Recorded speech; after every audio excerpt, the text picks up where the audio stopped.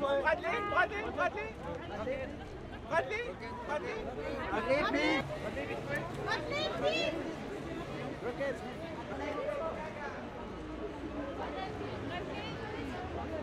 I wanted to tell a love story uh, about two people who actually really love each other.